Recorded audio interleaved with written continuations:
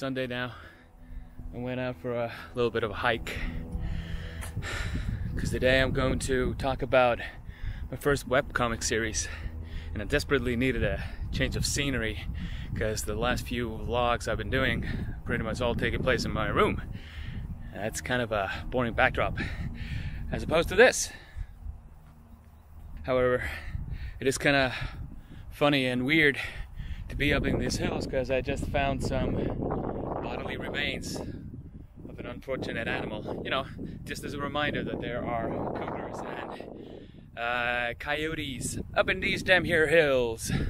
As you guys can see, my incredibly weak chin and I have not shaved in a while because frankly I'm insanely lazy and also I miss my beard I miss it terribly okay so the first issue or comic or episode of Another Life in Strangeverse was uh, published in November of 2012, right before the world ended, man, like right on time.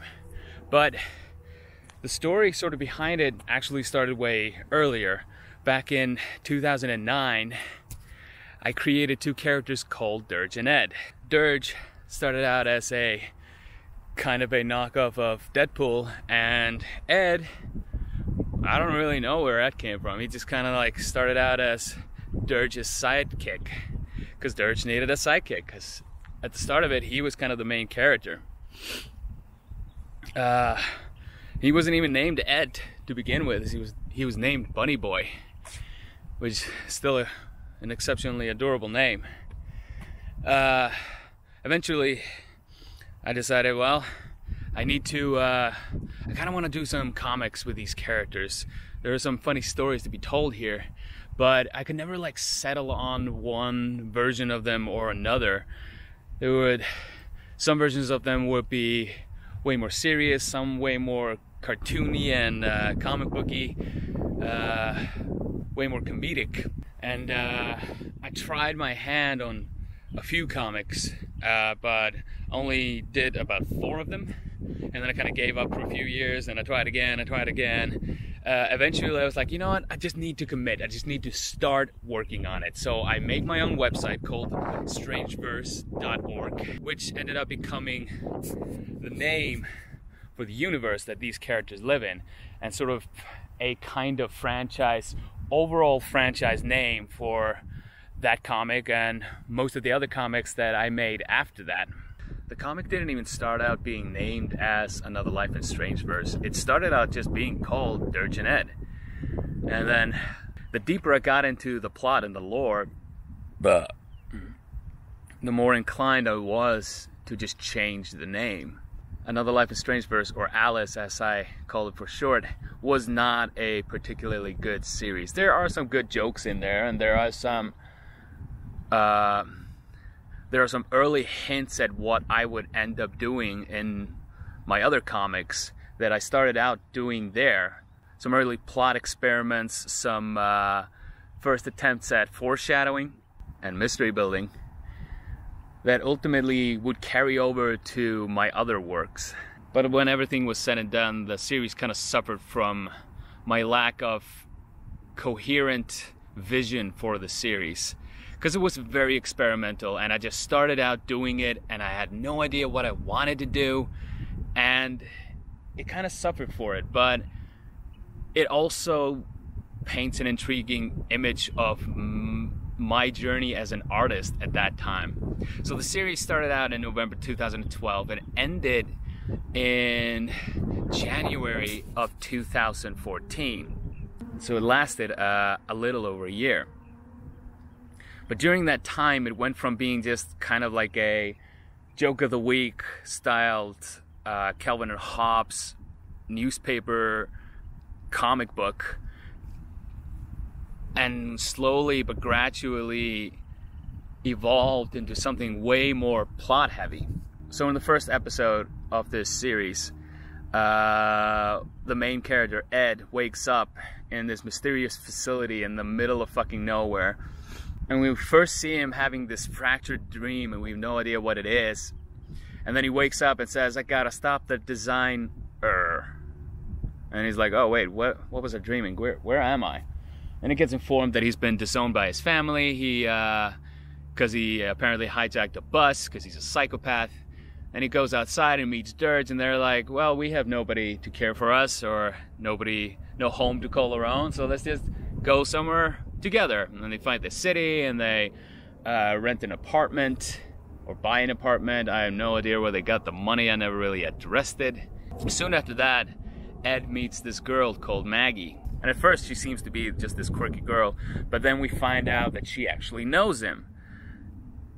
At the time, it is unknown where she knows him from, but it is later revealed that she knows him from a past life. Tis windy right now. Stop it. And as the series grew in complexity, uh, we learned that this is not just the case with them. They are not the only ones who've been reincarnated again and again and again, but it is the entire universe. The Strangeverse is a universe that keeps getting reincarnated. At the end of the series, Ed has this epiphany. He remembers all the things and he grows super powerful for some reason. And he, Dirge, and Maggie, they all sort of break loose from their creator's grip because they're tired of getting reincarnated and being slaves to their creator's stories, their creator's destinies. And uh, if you didn't notice or didn't guess, the the creator was basically me. It was it was very meta. It was very weird, but it sort of set the stage for a lot of my other comics that came after that because they were sort of indirect sequels to this. Now, the reason why I ended the series, uh, apart from the fact that it was just a mess, came about not because I didn't really have any ideas of how to end it or how to proceed, but because I had too many ideas. Which sounds like a weird flex, and it absolutely is, but it is also the fucking truth. In the last episodes or last issues of the series, Ed sees fragments of potential futures, and each and every single one of those fragments was my way of paying homage to each and every one of the ideas that I had, because originally the series wasn't supposed to end there. It was supposed to go on. There was supposed to be this major event that where Ed almost got killed and the three of them all got all parted ways and had to go about their on their own adventures before eventually coming back together and then taking the fight to the designer or the creator. And like I couldn't decide on how that was supposed to happen or where they were supposed to go. And I just kind of liked each and every single one of the ideas.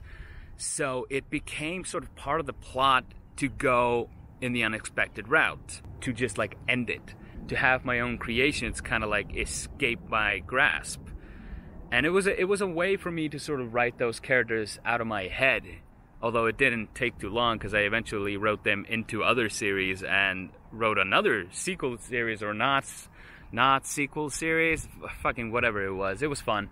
Uh, but yeah it was sort of uh, that was kind of my way to pay homage to unformed ideas and the the fractured dream that Ed has in the beginning. Although plot wise is supposed to hint at their past lives it is also it also serves as an homage to all the past versions of Dirge and Ed and Maggie. I'm proud of this series if only for the fact that it made me kind of go out there and do something creative and just like do it instead of sitting and contemplating it endlessly. But this is also not exactly one of my best works. So I'm kind of ashamed of a lot of things there. First of all, uh, I clearly started out with a strong idea, but I had no idea where I was going to take it. Second of all, I uh, changed art styles several times throughout the whole thing. And I mean, you could, I guess you could look at it, it's my way as an artist to evolve, but no. If you start a series, you should have a consistent art style. It's like rule number one in comics. Don't just randomly change your art style. People hate that. And second of all, my main female character was not exactly a great representation of female characters. The series absolutely failed the Bechdel test. It has one female main character. It has another female side character, which is her twin sister, Siriana. Uh, and the only time that they speak with one another, they are talking about Ed. So, it's not good.